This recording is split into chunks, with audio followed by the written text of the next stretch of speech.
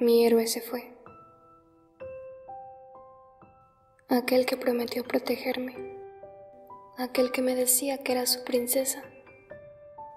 Aquel que alguna vez hizo de sus brazos el mejor lugar para descansar. El hombre más perfecto que mis ojos vieron. Se fue. Un día tomó las maletas y cerró la puerta sin regresarme a ver. Un viaje. Seguro se fue de viaje, pensé.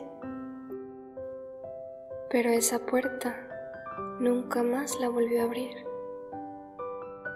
Cada tarde la miraba con la ilusión de escuchar el coche y pasaban tantos, pero nunca el de él. Mamá nunca supo cómo decirme que papá no iba a regresar, pero tarde o temprano lo tenía que descubrir, y las razones también. Mi héroe se fue. Se llevó su ropa, sus objetos de valor y me dejó. Si el primer hombre en romperme el corazón fue papá, ¿qué puedo esperar de los demás?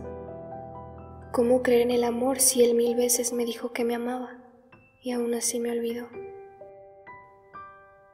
¿Cómo creo en la lealtad cuando él me juraba con la mano en el corazón y me traicionó?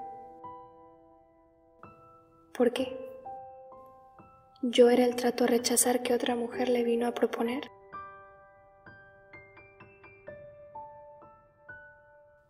Mi héroe se fue.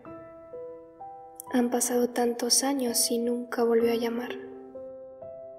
Confieso que aunque perdí toda esperanza, algunas veces regreso a ver aquella puerta y veo a esa niña con las ilusiones tendiendo de la mano pensando que papá está de viaje, sin saber que él no compró boleto de vuelta. Mi héroe se fue, se quitó la capa, tiró la espada porque nunca fue héroe, nunca fue príncipe. Todo el tiempo fue villano, el líder de los monstruos del armario.